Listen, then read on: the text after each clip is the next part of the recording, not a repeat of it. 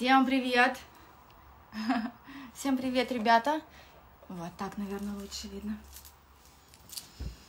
Привет всем! Сейчас нужно несколько минуток, чтобы подсоединиться. Сегодня очень особенный, очень интересный эфир, очень полезный, я скажу так, эфир. А, мы общаемся врачом-психиатром, который не нуждается а, в представлении с Андреем Владимировичем Курпатовым.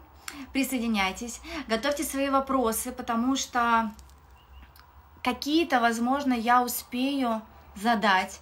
Вопросов было прислано очень много. Мы ждем, когда Андрей Владимирович подсоединится. А, безмерно всем рада. Присоединяйтесь, да. Замечательно. Я как часы, как вы знаете, я всегда вовремя выхожу в эфир, и мне кажется, это важно. Так, вот так вот. А, сегодня будем говорить на тему, как сохранить стабильное состояние. Как сохранить стабильное состояние в нынешнем измененном мире. Пока напишите, друзья, кто а, знаком а, с работами и творчеством, может быть, и даже с Академией смыслом Андрея Владимировича. И так, так, так. Кто знаком с его работами и то, чем занимается Андрей Владимирович Курпатов много-много лет. Так, выйти прямой. Технология. Кто бы мог подумать. Здравствуйте, Андрей Владимирович. Я безмерно вам благодарна, что вы нашли время, потому что сейчас а, временной и интеллектуальный ресурс это, наверное, одно из основных вещей. Вы меня слышите? Я слышу, мы чуть-чуть булькаем, не знаю, как там наши слушатели. А сейчас проверим. Друзья, а скажите, а нас слышно? Если нет, то будем немножко а, корректировать, возможно, даже через наушники. Но мне вас хорошо слышно. Мне кажется, тоже улучшилась связь. Угу. Ну, я думаю, мы не будем обращать внимание на комментарии, посмотрим. А, во-первых, а, огромное вам... А я себя слышу, да? Звук плохой. Андрей Владимирович, давайте я попробую подсоединить наушники. Одну секундочку, да. Ребята, пока можете а, поздороваться с нашим уважаемым гостем. Мур, дай наушники. Я надел наушники. Как вам слышно? Плохо все пишут.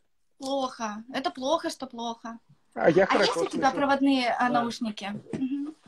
Сейчас наденем. Наталья Бул... булькает. Отлично. Технология. Да.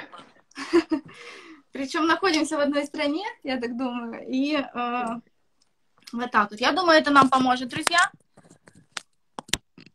С наушниками ага. хорошо пишут. Да, и мне очень хорошо вас слышно, как будто вы находитесь рядом.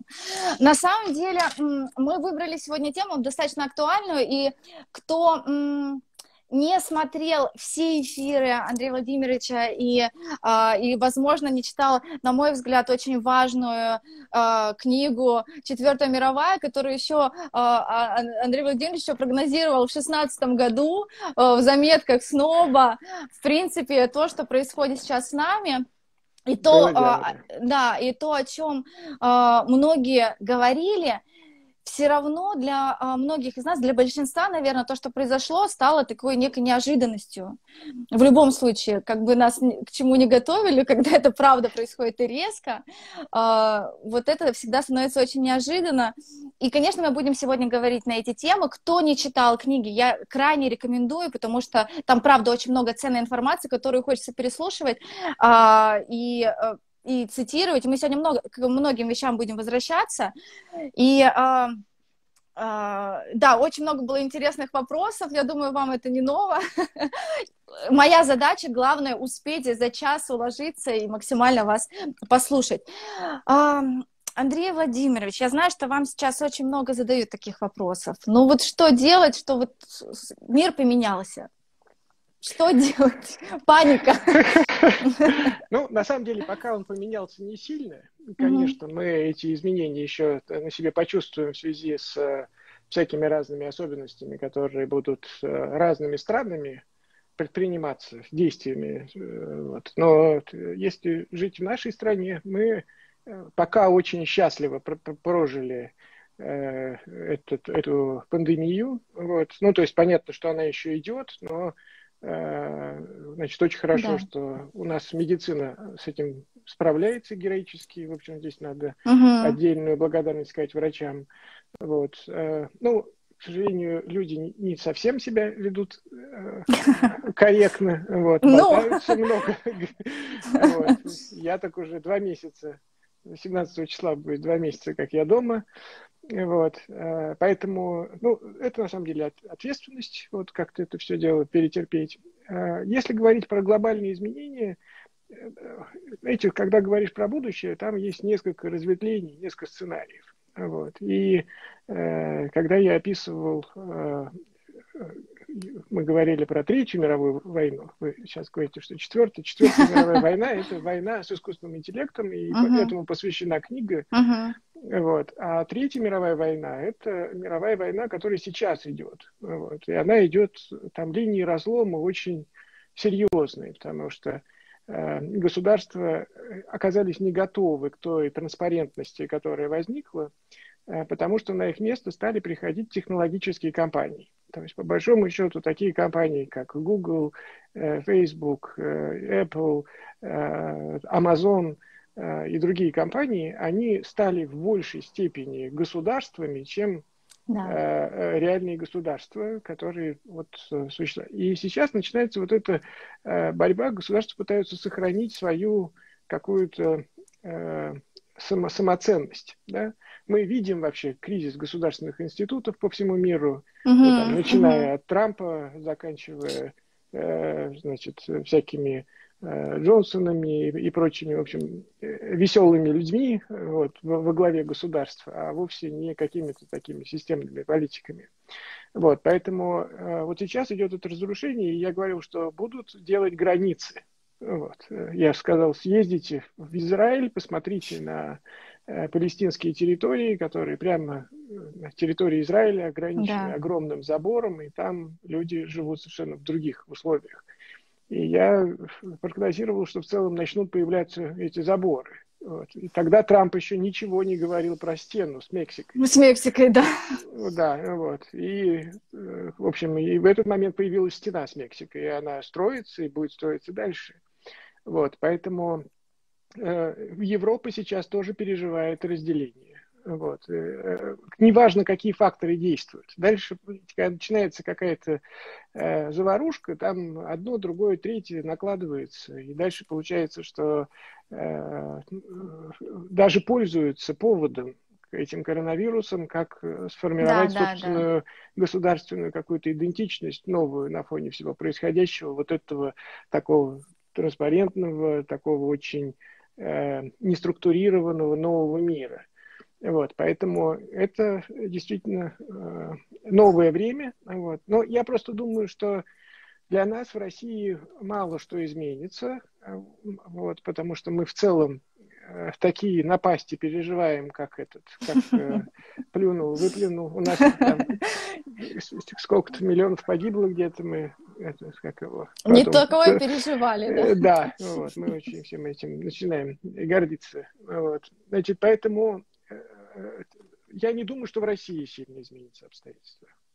Ну, ну вот, и я знаю, что вы упоминали, что, наверное, самое страшное не сама проблема коронавируса, да, из-за того, что мы сейчас сидим, самоизоляция, а то, что а, будут лишаться, ну, и вообще люди сейчас, кто сидит, немножко а, не знают, что будет дальше происходить там с работой, да, с нужностью со своей, да, и вот этот страх неопределенности, наверное, один а, из таких важных а, у вас есть такой темор, э, ой, термин э, психология иллюзии, да, наверное, вот этот вот страх, который ты рисуешь себе, он сюда его можно тоже отнести, да, какой-то неопределенности.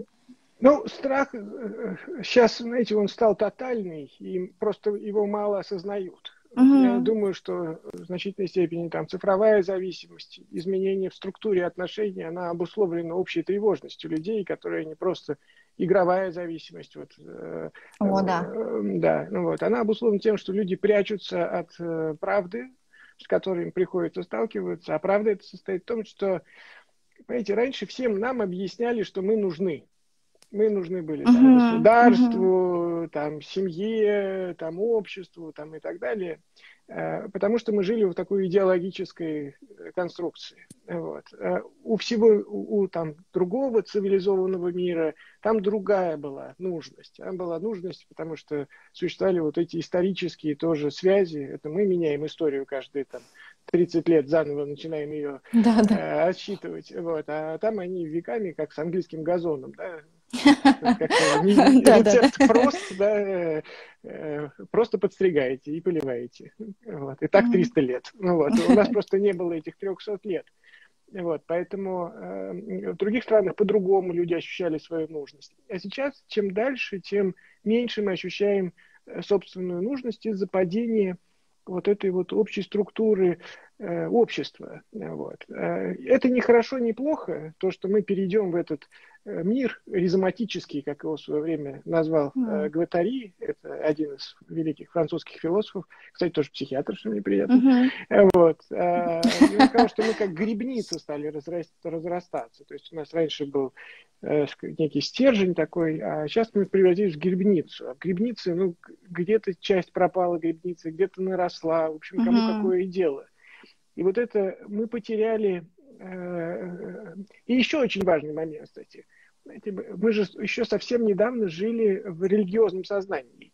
У нас была да. религиозная цель, вот такая, угу. да? Вот. С приходом науки э, эта история стала модифицироваться, и, и эволюцию даже Папа Римский признает. Эти тут ничего не поделаешь. Вот, уже от этого никуда не деться. Да? И, соответственно, у нас э, Э, сначала был оптимизм, связанный с тем, что мы сейчас технологически нарастим всякие разные э, возможности, там, ресурсы, и нам начнется живо и весело жить. Вот. А получилось, что мы вот это все нарастили, а этой скрепляющей какой-то нити общей не да, появилось. Да. Вот. И, и мы потеряли, у нас нет мировоззрения. Знаете, мировоззрение – это когда ты понимаешь свое место в мире. Вот. Я свое, да, я в свое время написал книжку «Складка времени». Она такая больше философская. Я, я, я читала, да. Да ладно.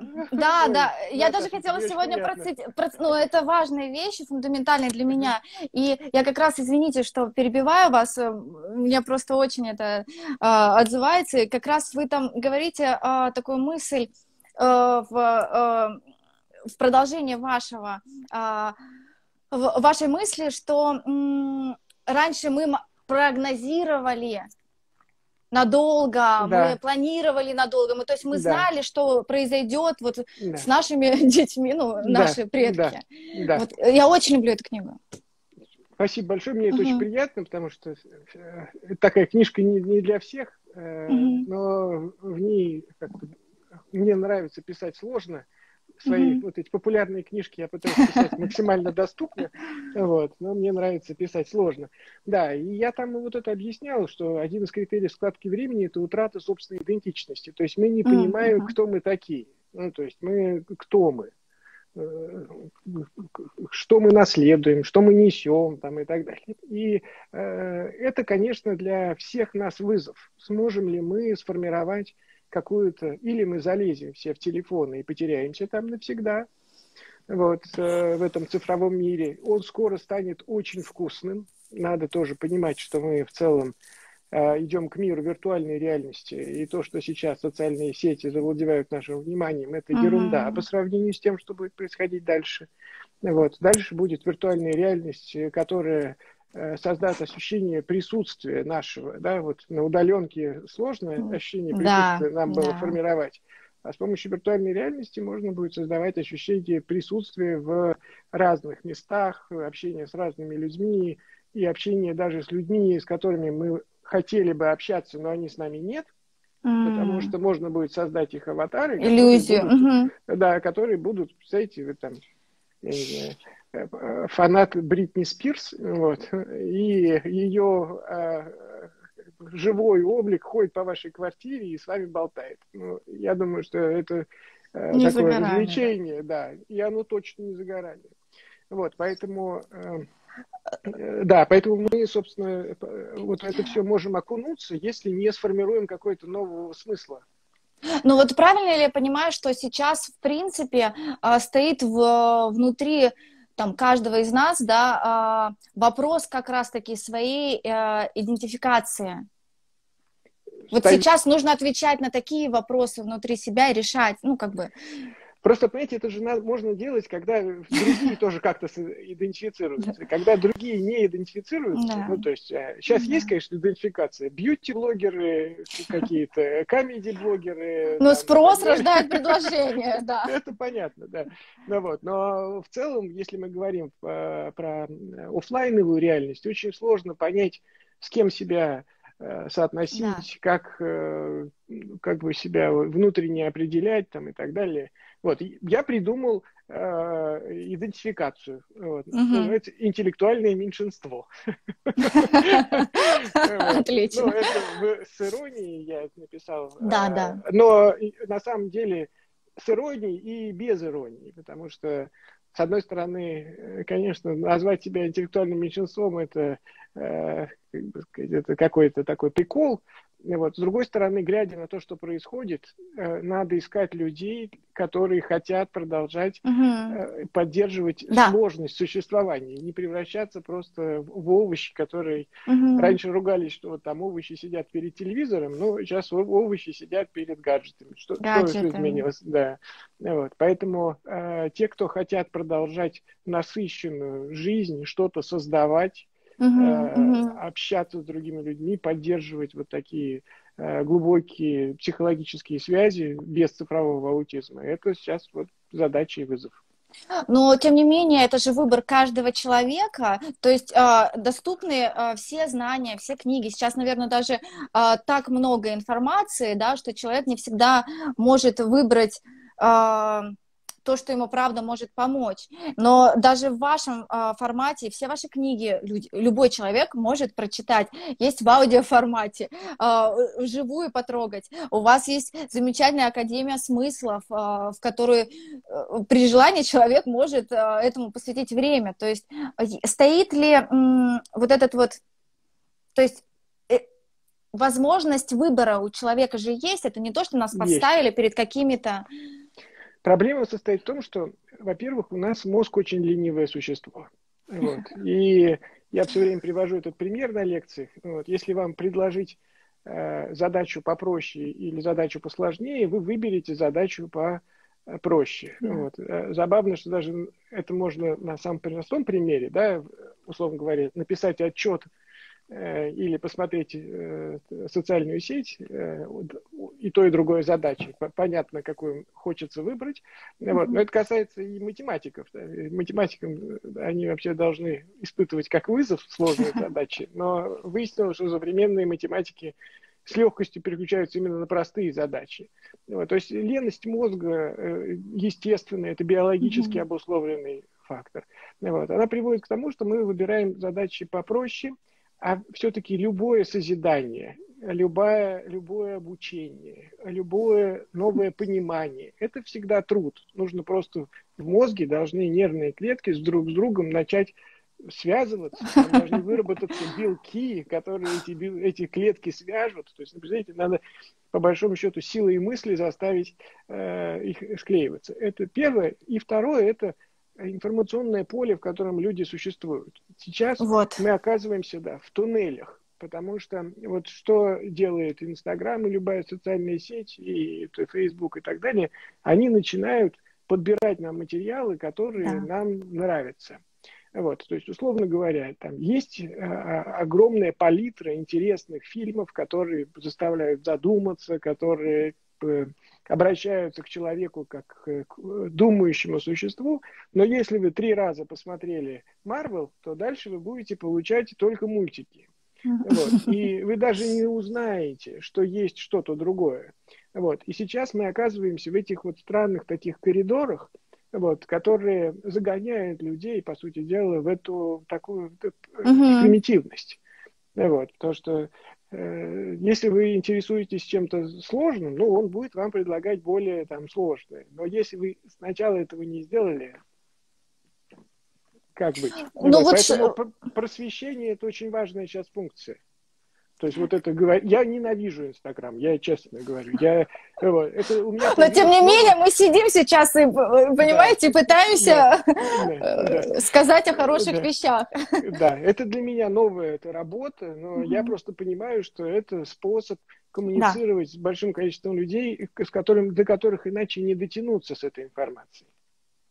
Я тут полностью разделяю вашу точку зрения, конечно же, учитывая, что, да, наш проект 10 лет в Инстаграме, и, а, конечно, это как и, наверное, в любом а, правильном а ремесле. 10 можно... лет уже в Инстаграме, да? Ну, наш проект, вот он за моей спиной следует да, за мной. Да, я его знаю, конечно. Да, 10 лет, Ой, и, конечно, тут выбор всегда, ну, то есть, я думаю, мы просто повзрослее немножко, а, я думаю, молодому поколению чуть сложнее будет именно делать селекцию и выбор правильной информации. Вот, наверное, этот вопрос тоже будет стоять для молодого поколения, как как это Особенно, что на самом деле аудитория э, Инстаграм э, стремительно стареет. Вот. Э, нам уже что-то там, а, она за 35 уже перевалила. Ну да, это мы, да. Вот. А э, молодежь уходит в ТикТок, вот, угу. в котором, конечно, там все значительно более драматично. Ну, то есть для меня это инструмент, где я могу э, делиться своим видением и нести какую-то мысль, которая я для меня да. важна.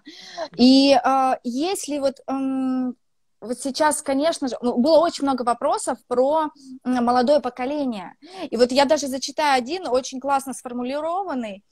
Зачитаю прям. Давайте. А, а, окажут ли последствия пандемии, ну и вообще информационного поля на поколение Z такой же эффект, как а, перестройка а, страны на поколение X в 90-е? Начнут ли Z э, запасаться или все так же останутся в, коротке, в коробке Netflix? Цитирую вас. А, ну, на самом деле, конечно, э, этот вирус э, сильно повлияет как раз на поколение иксов, Uh-huh. Вот, которые достаточно консервативно относятся к э, технологиям. Но сейчас из-за того, что они вынуждены работать на удаленке, они вынуждены переносить бизнес в онлайн и так далее, вот, э, они в большей степени придут э, в социальную, ну, в виртуальную среду. Вот, вот основное как бы, отличие. Там, бабушки угу. и дедушки вряд ли, я тут спрашиваю, ну, да. э, э, на, в новой газете тоже проводил такое uh-huh. видео. Я, бабушки, дедушки нет. На поколении иксов, ну, я вынужден выходить в прямые эфиры в Инстаграме. Я сейчас, вы бы видели, как я пытался найти эту, э, куда тыкнуть здесь. Ну, хорошо же получается, посмотрите, сколько людей. Я старался. Вот. То, что касается зетов, на самом деле зеты уже достаточно взрослые люди. Вот, это мы привыкли думать про них как про детей. Дети это альфы. Uh-huh. Вот, это новая классификация. Значит, Z это, по сути дела, до 25 лет. То есть это э, очень уже взрослые люди. Значит, они отличаются способностью к накапливанию средств.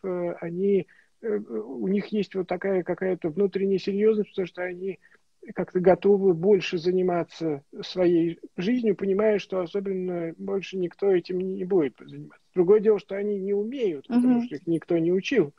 И они, вот если смотреть исследования, то есть они готовы сберегать средства, но не знают, на что им это нужно на сберегать. Что? Вот, поэтому это опять же вот вопрос мировоззрения и новой какой-то такого общего культурного пласта, где будут э, объявлены ценности, вот, которые нас будут объединять. Угу. И где возникнет информационное поле, которое будет нас объединять. Потому что существенная очень проблема состоит в том, что когда э, общество находится в разных каких-то информационных лакунах, да. вот, оно теряет цельность. Да?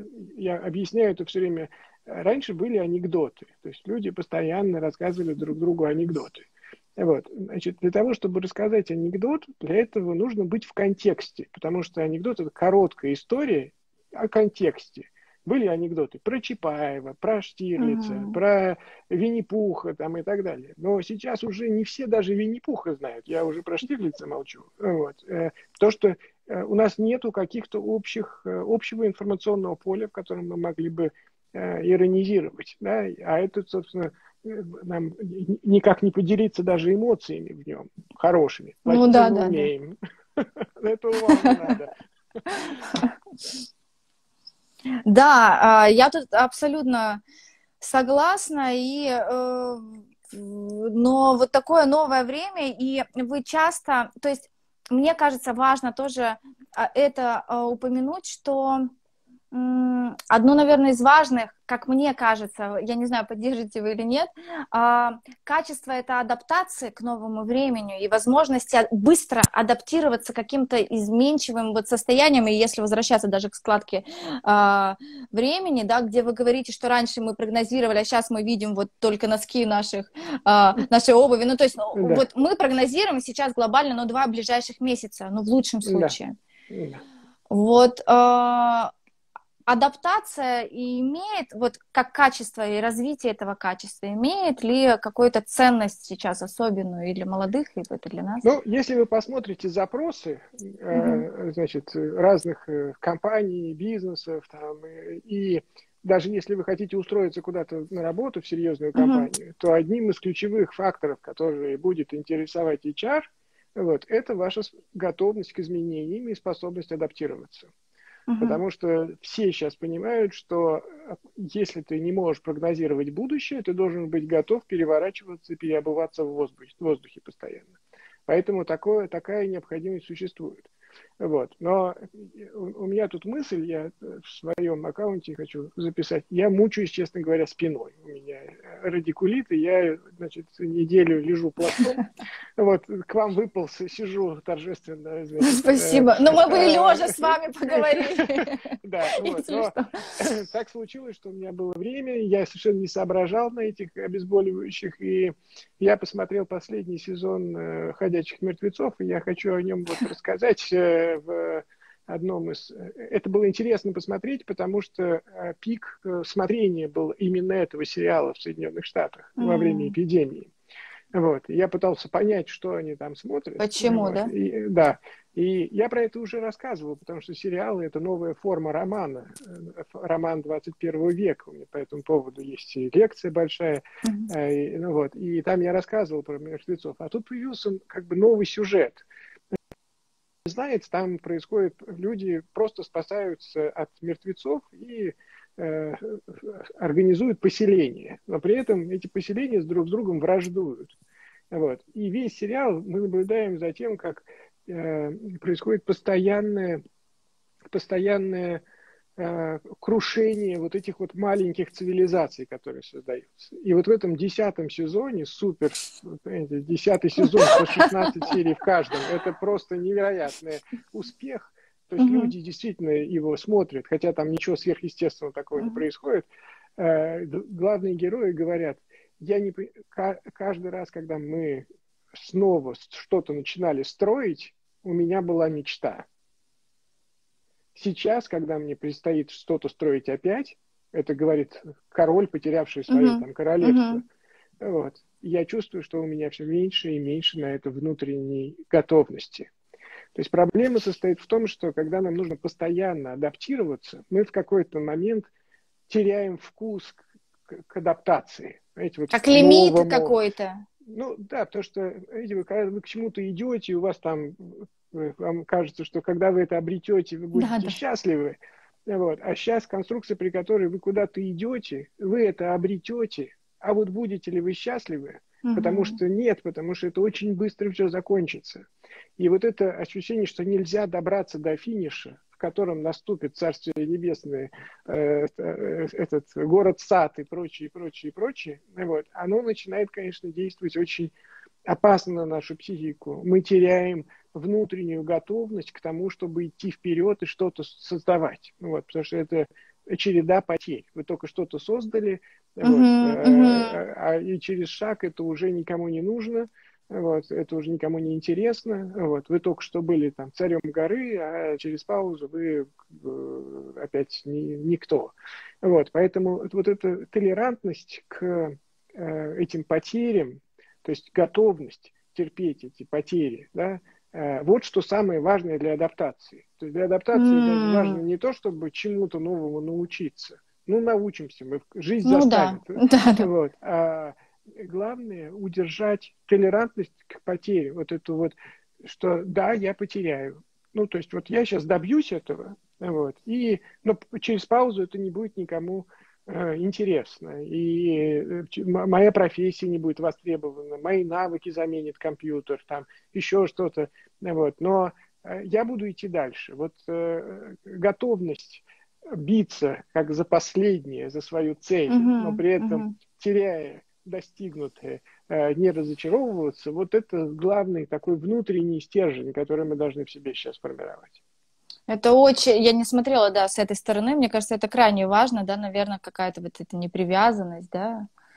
Ну, вот как бы ты сделал Сложно. кейс, гордись этим, потому да, что да. он сделал тебя умнее, он сделал тебя как бы талантливее, да, потому что таланты развиваются, он сделал тебя более востребованным, ты узнал много нового, вот. Сейчас все потеряешь, но у тебя какой внутренний ресурс. Иди дальше. Угу, вот угу, если угу. такое будет, это да, хорошо. Это... Но это реально этого достичь человеку? Ну, я, я какую-то странную роль занял футуролога, вот, потому что все, что сейчас происходит, впервые в истории цивилизации. Mm. Значит, впервые в истории цивилизации мы находимся в информационном, в цифровом веке. Мы никогда не были.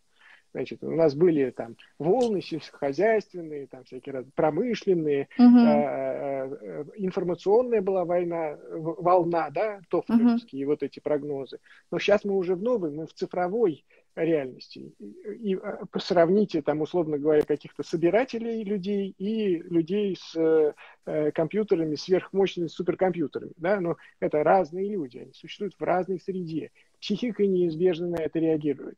Вот. И мы идем же вперед, не думая про издержки, да, потому что мы думаем, ну вот всем будет доступна информация. Вот помните, когда начинался интернет, я помню, э, все смогут доступную информацию. Да, да, да. Да, это правда замечательно. Я, как бы, чтобы мне получить статью любую, э, самую последнюю научную, мне нужно там три минуты для того, чтобы ее найти. Uh-huh. Да? Раньше я в библиотеке заказывал книги, да, и вот, и потом приходил, и, и достали их или не достали. Ну, вот, час ехал до этой библиотеки mm-hmm. из спального района. Вот, поэтому э, сейчас, конечно, информация стала доступна, но насколько она востребована, эта доступная информация, вот, она, конечно, не так востребована, как э, развлекательные и прочие ресурсы. То есть, условно говоря, мы думаем о хорошем, да, а, mm-hmm. а потом как это значит. Вот мы, например, все исследования мозга посвящены как бы изначально тому, чтобы лечить, я как врач вам сообщаю, чтобы uh-huh, лечить, uh-huh. значит, психические расстройства, Альцгеймер предотвращать там и так далее. Для этого основная цель. Но после того, как мы получим эти знания, и станет возможно интегрировать э, в голову сейчас не буду произносить слово, да, да. которого все, угу. а, значит, электроды. И, и, да. А, ну, не вполне понятно, насколько это будет э, безопасно для нас, как для вида.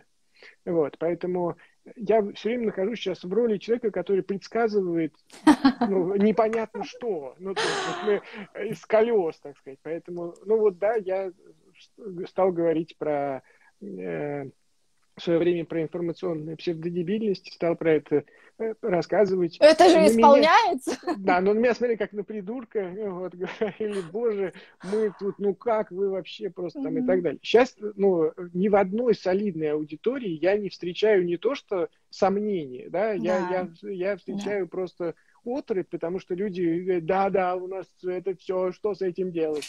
Вот. Я говорю, надо было делать, когда я говорю, Раньше, да. Вот. Ну, как бы там ни было, э, э, я могу прогнозировать, но я не вполне, конечно, могу отвечать за свои прогнозы, потому что, ну, ну нет, ну очеви- такая, оч- да. очевидно, почему к вам обращаются, потому что вы очень умный человек, и люди хотят услышать какие-то прогнозы хотя бы. Я, эм, у меня есть это как запасной вопрос, но э, ага. раз мы затронули, я так э, легонечко его коснусь, э, потому что сейчас многие об этом говорят.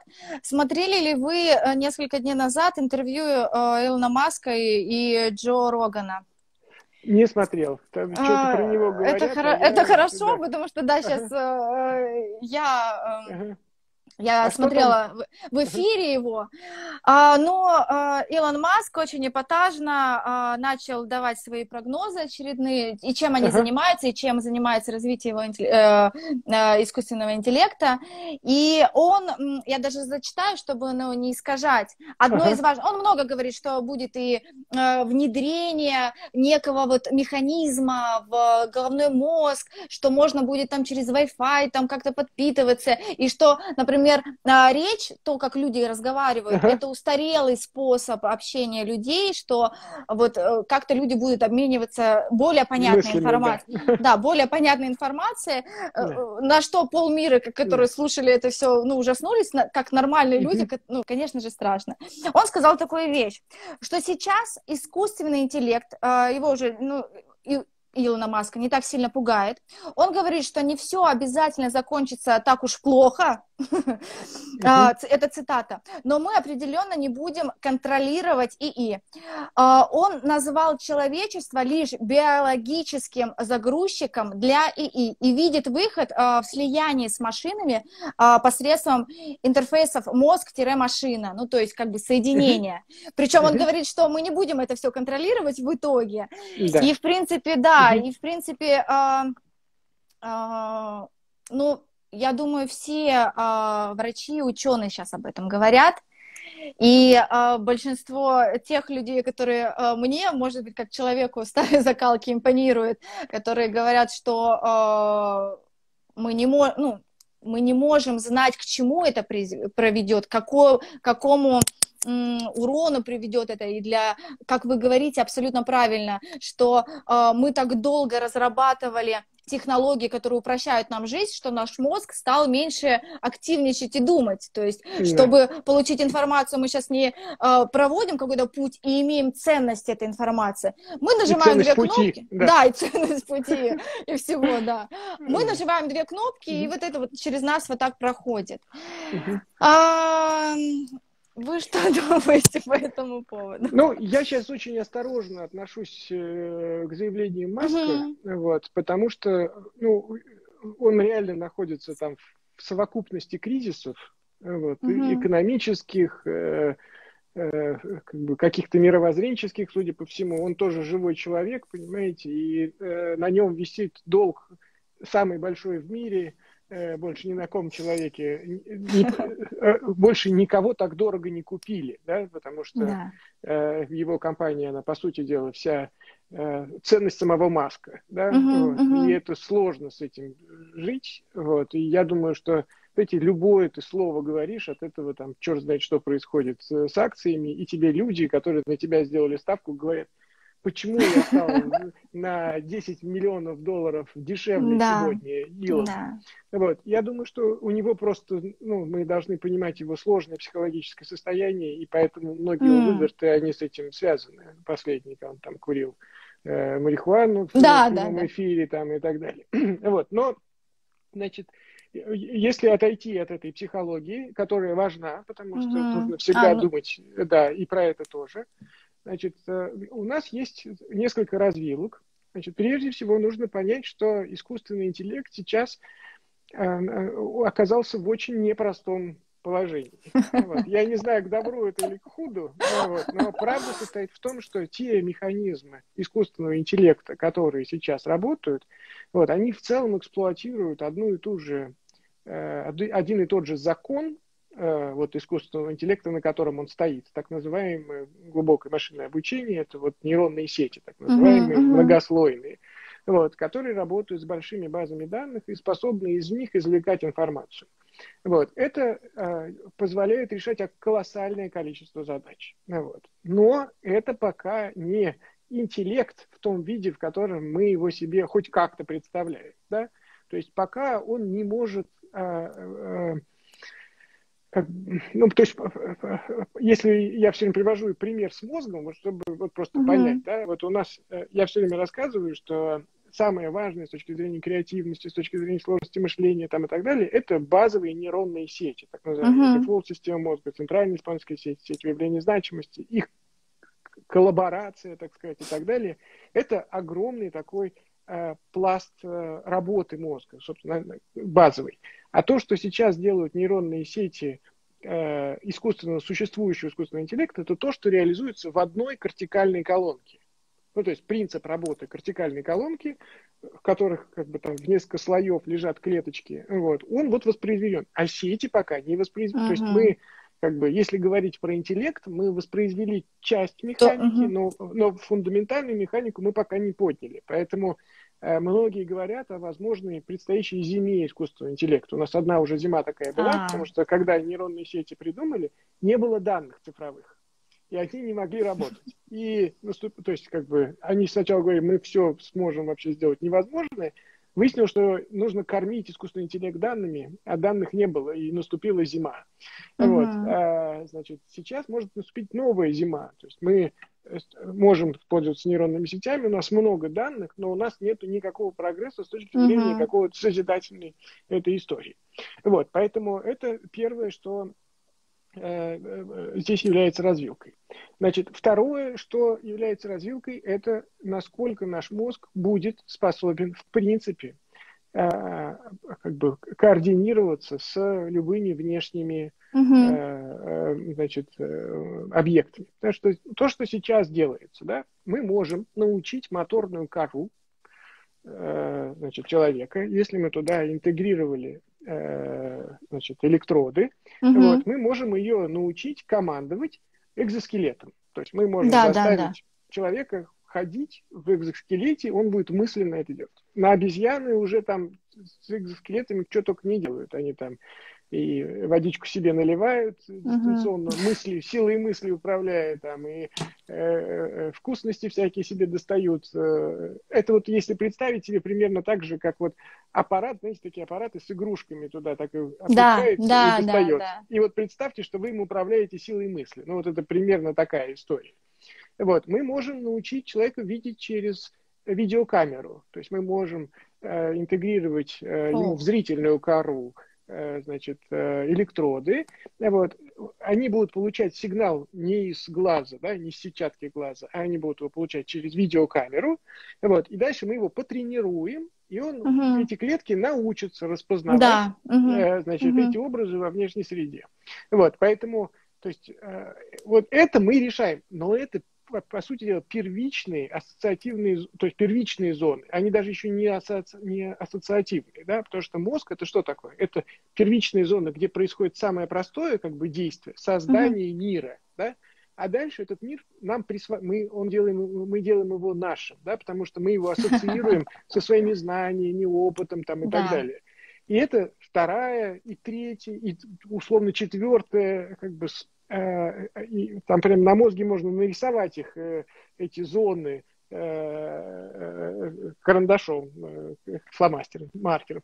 Вот. И вот их восстановление, на мой взгляд, это ну, просто это не очень понимают люди инженерного склада. Uh-huh, Маск uh-huh. абсолютный гений с точки зрения э, как бы видения всяких разных механик, которые он складывает. Весь его Э, творческий гений состоит в том, что он находит какое-то решение где-то и умеет его приладить куда-то. Uh-huh, да? Но uh-huh, пока uh-huh. он функционирует в мире, в котором действуют одни и те же законы. Это законы физики. Пока он не функционирует в мире, в котором действуют законы психологии. Ну, психологию я не люблю, законы мозга, нейронауки. Uh-huh, вот. uh-huh. И он, э, как бы пытаясь приладить это туда, мне кажется, пока слишком забегает вперед, и, и слава богу. И слава богу, да, у нас есть время, мы пока вот к пандемии да. привыкаем, да. А, это очень интересная тема, потому что вот, да, ну, понятно, что изначально и он тоже говорит, что это а, в целях, а, в медицинских целях, чтобы помочь людям, у которых есть разные заболевания, но как мы пони, помним, что и пластическая хирургия родилась после Первой, Первой мировой войны, когда люди приходили с войны, им нужно было поправить. Да. А во что это в итоге там спустя сто лет вылилось, появилась, извините меня, мы увидим в Инстаграме. Да, и что не, не отличишь никого. Да. Ну, ну, пусть, да, повременит, у нас пока есть время ко всему, да, привыкнуть. Э, Еще а, на днях слышала такой интересный разговор кого-то там в Силиконовой долине, тоже каких-то программистов умных, которые привели пример. Когда Китай начал выходить частично из пандемии, а, по-моему, офис Гугла, если я не ошибаюсь, а, сказал, что э, своим сотрудникам сказал, что на их усмотрение могут ли они приходить а, в офис или нет. И пришло всего лишь, а учитывая, что офис Гугла очень креативный, там, ну, как бы очень свободно, и пришло всего лишь 20% сотрудников. Остальные mm-hmm. за эти три месяца уже, я попробую предположить, да, угу. привыкли, то есть адаптировались, кто-то побоялся просто, ну, из-за каких-то, ну, из-за спасения там своей жизни. Вот а, будет ли нам, а, и вот, то есть это же какие-то м, защитные функции головного мозга срабатывают. Вот на, насколько мы привыкнем к тому, что сейчас происходит, и насколько, вот, наверное, тут еще такой вопрос, а, есть, ну, продолжая это, а есть ли какой-то генетический э, культурный код, который будет влиять, что на разных странах это будет про- проходить по-разному? Ну, я не, не думаю, что это генетический код, uh-huh. вот, но культурный код, безусловно, есть, uh-huh. вот, и можно как бы понять, как мы проводили самоизоляцию. Вот, э, Вы про шашлыки? Да, у меня под окнами я столько не видел людей вообще никогда в жизни. Я живу, так сказать, тут э, непроходное место точно, но они все находили, они что они пели, они какие-то играли на каких-то инструментах. Вот. Сегодня кто-то, значит, в каких-то нарядах переодевался, фотографировался, значит, у нескольких исторических памятников. Вот. В общем, короче говоря, конечно, культурный код э, есть. Вот. Это, что такое культурный код? Это тоже не какая-то программа, да? Угу. Вот. А это э, наша подсознательная такая история, когда мы сверяем свои действия с тем, как они будут оценены окружающими. То есть, если mm. какое-то мое действие вызовет у окружающих недовольство, вот, то я, скорее всего, его применять не буду. Но если э, меня скажут, а, гуляй рванина, вот, то как бы я и загуляю. вот. И это такая механика очень интересная, и там есть к этому как раз исследования эволюционных психологов, которые об этом рассказывают. Поэтому, конечно, есть. И в разных культурах по-разному. Если мы говорим про там, офис Гугла, там, э, ну, во-первых, э, они еще очень находятся в стрессе ну, да. от угу. пандемии, надо признать, у них там э, как бы не просто случилось из-за особенностей здравоохранения. Оно так организовано, что там, в общем, не, не забалуешь. Вот, э, да, значит, поэтому это первое. Второе, э, все-таки среди программистов большое количество людей, склонных к большему такому аутизму и, ну, аутизму социальному uh-huh, uh-huh. психологическому, да, это не то, что там они э, страдают э, психическим заболеванием, да, да, да. но uh-huh. да, но это вот такая, они больше такого склада, э, кто читал Троицу конструкторского, вот, и, э, и поэтому они не очень нуждаются в социальных связях, вот, и мы сейчас проводили исследования, кстати, смотрели, как разные типы реагируют на э. Самоизоляцию, и выяснилось, что конструкторы легче всего переносят самоизоляцию вот, именно из-за особенностей своей э, mm. э, вот такого... Уединенности. Людьми, ну, они вообще с людьми общаются внутри собственной головы. Вот. Им э, для этого прямого контакта не нужно. Вот. Это там э, центристы, э, они все время с зеркальными нейронами своими, им нужно uh-huh. смотреть, как человек себя ведет, как действует. Там, рефлекторам важно чувствовать эмоциональный отклик от того, что они делают. Поэтому и рефлекторы, и центристы сходят с ума, а конструкторы очень довольны. И с учетом того, что их в Гугле много, вот, э, то, в общем, я не удивляюсь, потому что они никуда не торопятся. Вообще, на самом деле, вот эта идея создать в Гугле сейчас э, все его себе представляют хорошо благодаря э, да. фильму да, Дудя. Вот, э, да, и э, он же похож на детский сад. Угу. Вот, ну, то есть вот как угу. бы один детский уголок, другой детский уголок там и так далее. Вот. И они это создали просто для того, чтобы как-то вовлекать этот необщительных от природы людей в какую-то социальную коммуникацию. Потому что, когда, если бы их рассадить по столам, то это была бы такая я видел такие компании тоже, в которых не, не используются, но есть большое количество программистов и так далее. И это прямо такие, знаете, э, как фабрика такая. Сидят люди, каждый в своем, не встретишь uh-huh, другой. Uh-huh. Вот, поэтому я думаю, что это в значительной степени для этого было сделано. Вот. Как мы будем реагировать? Я думаю, что у нас будет часть людей, э, которые будут э, очень осторожны. Uh-huh. Вот. Э, это будут люди, а, ну вот просто с, с тревожностью. Вот. Б, это будут люди, которые понимают, что еще в целом ничего не прошло, и нас в любой момент могут снова подзакрыть там и так далее. Вот, э, поэтому э, это будет, но большая часть людей, э, они даже многие не верят в этот коронавирус. Это уже uh-huh, вот, действительно он не так опасен. Я всегда это объяснял, вот, как кажется, он такой не, не обладает свойством мора, вот, хотя неприятная штука, и если вы находитесь в эпицентре, вот, то вы, конечно, рискуете сильно. Вот, но в целом это не какая-то прям вселенская такая катастрофа. Вот, но э, это опасно. Ну, и, а многие вот восприняли, что вообще нет никого. Придумали его там, чтобы всех значит, с ними что-нибудь почипировать. Чипировать, да. Ой, не будем эту тему сегодня затрагивать. Столько всего, да, и в интернете, конечно, с, с этой информацией. Да, а, это тоже такая очень а, интересная тема, но вы, а, вот есть же наверняка, да, исследования, да, что вы предполагаете, наверное, да, что в России люди устойчиво достаточно пройдут эту историю. Значит, ну, понимаете, у нас есть статистика Угу. У нас есть статистика, то, что у нас в целом население 20% страдает пограничными психическими расстройствами, ну, вот, то есть депрессивными и тревожными, по сути дела. Это много? Вот, и, конечно, для них э, это немало.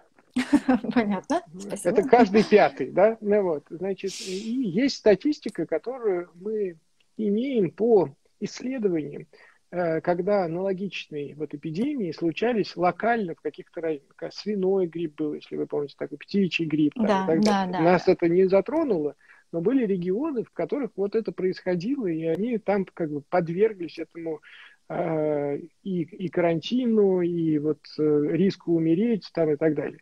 Вот. И по тем исследованиям порядка 20% после этого испытывают некие вариации uh-huh, посттравматического стрессового расстройства. То есть, что это такое? Это какая-то неадекватность реагирования, связанное с опасением, там, я не знаю, что можно заболеть, что э, все разрушится, что я не смогу управлять своей жизнью, там, и так далее, и так далее. Вот. И если суммировать грубо, то это 40% вместе. Ну, я думаю, что из этих 20, э, э, значит, часть уже, так сказать, готово, вот, поэтому там, ну, может быть, будет там 30-35% населения, а это каждый третий человек, который будет чувствовать себя психологически не очень хорошо из-за всех изменений, которые происходят. И плюс надо учитывать, что, конечно, фактор, который никто изначально как-то не подумал, это экономическая э, удар экономический, да. потому что огромное количество людей потеряло работу, вот. Э, и, и не факт, что это все быстро вернется в прежнее русло. Uh-huh, uh-huh. Вот. Поэтому ну, тут есть еще просто существенный фактор. Люди наконец задумаются про что надо инвестировать в себя для ну, того, чтобы представлять ценность на рынке. Ну, это может быть хорошая история, но, но это, для, для многих это все равно больно, поэтому тут ну, у нас, э, как бы, так э, не хочу драматизировать, но вариантов нет. Уже когда вариантов нет, мир движется и развивается. А вы заметили вот а, а, со стороны вашей а, работы и профессии, что вот за последние, ну, даже не буду говорить 4 месяца, даже 2 месяца, что люди стали чаще интересоваться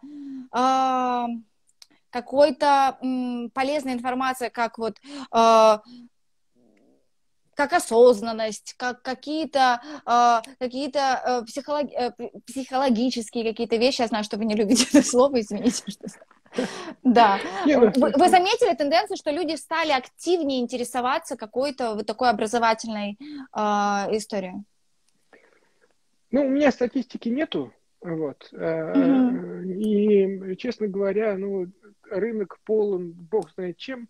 Да. Вот. Поэтому, как бы там, э, я думаю, что многие начинают обжигаться на всякой галиматье и прекращают Э, ну, то, что там вот даже вот книжки, например, какие-то психологические иностранных авторов, вот ты берешь и читаешь, там одна мысль на всю книгу. Это правда. Растянута Это тонким правда. слоем. Ну, вот, я тут был, когда в Давосе на форуме, я, я там уч, участвовал в этом э, завтраке, там выступал тоже э, человек, сейчас психолог, а, она на ТЭДе выступала, uh-huh. Давос ее пригласили там, и так далее. У нее а, книга написана, одна мысль. Называется э, гибкие, гибкие эмоции. Принять то, что мы испытываем негативные эмоции, и трансформировать их. Ну, слушайте, это, конечно, мощь. И я понимаю многих людей, которые сталкиваются с такой э, литературой или с такими курсами и так далее, и после этого говорят, что это было. Ну, вот, э, что эти люди да, могут да, нам да. предложить. Ну, вот, поэтому, э, к сожалению, пока все это вот в каком-то... Мы настолько сейчас будем нуждаться вообще в понимании, в каком-то в, со, в самыслии с кем-то, да, чтобы угу. не оказаться просто один на один со своей жизнью, в которой, ну, как бы со стороны же собственную жизнь не видишь. Вот. И мы на самом деле настолько сейчас вообще нуждаются, должны в этом. Ну вот. А вот с точки зрения того, что можно предложить, я вот думаю, что у нас не, не лучше.